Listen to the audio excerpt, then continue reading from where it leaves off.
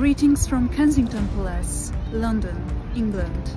It's been 25 years since we lost the most precious diamond of England, Queens of people's hearts, Princess Diana.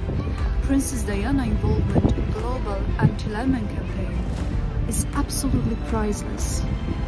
She was a queen of people's hearts and she raised global awareness about landmines as a patron of several mining organizations and also initiator of One Mine, One Life global campaign against landmines, I would like to express my deep gratitude in the name of the all global anti-landmine community for Princess Diana wonderful work. One Mine, One Life.